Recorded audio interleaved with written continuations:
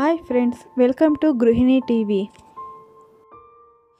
ಇವತ್ತು ನಾನು ನಿಮಗೆ ಚಿಕನ್ ಮತ್ತು ಮಟನ್ ಮಸಾಲ ಪುಡಿಯನ್ನು ಮನೆಯಲ್ಲೇ ಹೇಗೆ ರೆಡಿ ಮಾಡ್ಕೊಳ್ಳೋದು ಅಂತ ತಿಳಿಸ್ಕೊಡ್ತೀನಿ. ಧನಿಯಾ ನಾಲ್ಕು ಟೇಬಲ್ ಸ್ಪೂನ್, ಮೆಣಸು ಎರಡು ಟೇಬಲ್ ಸ್ಪೂನ್, ಜೀರಿಗೆ ಎರಡು ಟೇಬಲ್ ಸ್ಪೂನ್ ಸೋಂಪು ಎರಡು ಟೇಬಲ್ ಸ್ಪೂನ್. ಚಕ್ಕೆ ಎರಡು ಇಂಚು, ಎರಡು ಪೀಸ್. ಲವಂಗ ಹತ್ತು. ಏಲಕ್ಕಿ ನಾಲ್ಕು, ಜಾಕಾಯಿ ಕಾಲು ಟೀ ಸ್ಪೂನ್ ಗಸಗಸೆ ಒಂದು ಟೇಬಲ್ ಸ್ಪೂನ್. ಅಕ್ಕಿ ಒಂದು ಟೀ ಸ್ಪೂನ್ ಕರಿಬೇವು ಇಪ್ಪತ್ತು ಎಲೆ. ಕೆಂಪು ಮೆಣಸಿನಕಾಯಿ ಹತ್ತರಿಂದ ಹನ್ನೆರಡು.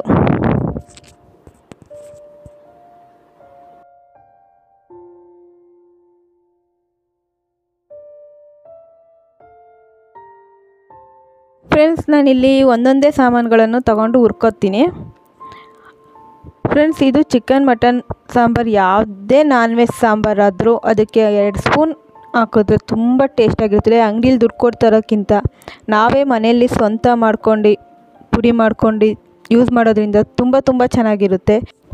ಹಾಗೆ ನಮ್ಮ ಆರೋಗ್ಯಕ್ಕೂ ತುಂಬ ಒಳ್ಳೆಯದು ಮೆಣಸು, ಚಕ್ಕೆ, ಏಲಕ್ಕಿ ಒಂದು ಮೂವತ್ತು ಸೆಕೆಂಡ್ ಹುರ್ಕೊಂಡು ಗಸಗಸೆ ಸ್ವಲ್ಪ ಫ್ರೈ ಆದರೆ ಸಾಕು.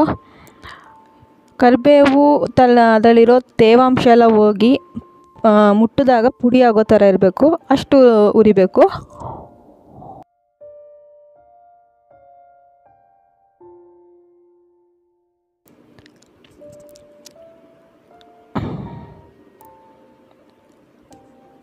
ಮೆಣಸಿನ್ಕಾಯಿನೂ ಅಷ್ಟೇ. ತುಂಬ ಕಪ್ಪಕ್ಕಾಗೋಗಿ ಬಿಡಬೇಡಿ. ಸ್ಟವ್ ಆಫ್ ಮಾಡಿಕೊಂಡು ನಂತರ ಜಾಕಾಯಿನ ಹಾಕ್ಕೊಂಡು ಅದೇ ಬಿಸಿಲಿ ಹುರ್ಕೋಬೇಕು. ನಂತರ ಇದನ್ನೆಲ್ಲ ಒಂದು ಜಾರಿಗೆ ಹಾಕಿ ಪುಡಿ ಮಾಡ್ತೀನಿ. ಫ್ರೆಂಡ್ಸ್ ನಾನೀಗ ಪುಡಿ ಮಾಡ್ಕೊಬಂದಿದ್ದೀನಿ ನೋಡಿ ಎಷ್ಟು ಚೆನ್ನಾಗಿದೆ. ನೀವು ಒಂದು ಸತಿ ಟ್ರೈ ಮಾಡಿ ನೋಡಿ. ಇಷ್ಟ ಆದರೆ ಲೈಕ್ ಮಾಡಿ, ಶೇರ್ ಮಾಡಿ, ಕಮೆಂಟ್ ಮಾಡಿ. ನಮ್ಮ ಚಾನೆಲ್ಗೆ ಸಬ್ಸ್ಕ್ರೈಬ್ ಆಗಿ. Thank you.